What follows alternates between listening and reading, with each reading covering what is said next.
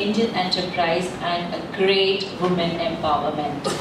So, hats off to you girls. And next we have uh, Madhubita.